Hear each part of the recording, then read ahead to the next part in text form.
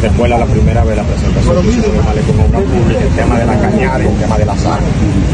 Y sí, se hicieron los levantamientos y gracias a Dios a tiempo, la naturaleza nos dio la razón. Hace un mes, mes y medio, llovió mucho en la parte urbana de y se inundó en lugares donde nunca se había inundado. En ese que a Lorenzo le expliqué la situación y a Aaron que uno de los rompeolas hay que hacerlo en el mismo puente cajón que la marea claro, vuelva- claro, es correcto, me sí. vuelva a sedimentar el tema de la correcto, sal. es correcto. Pero a propósito de eso, la- las aguas de la calle de la policía, que es el punto crítico de Nago, que está a 20 metros, 20 metros lineales, supongo, de aquí del malecón, solamente salen por la calle por No, porque si tiramos aparte No, toda no, programación, entonces claro. después un lío no, no. No, hay que hacer. Está en diseño en obras públicas, a la espera de que se revise, de que se analice y que entonces se le autorice.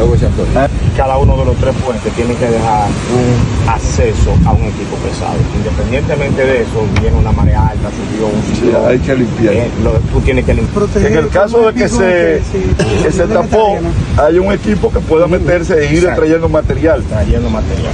Gracias al apoyo que hemos recibido de la alcaldía con las informaciones en el manejo de las aguas de unas eh, tres cañadas que desembocan aquí en el mar, hemos tenido que estarle dándole soluciones y otras que se presentarán y que estaremos mirando a los fines de poderle presentar a este municipio una obra majestuosa.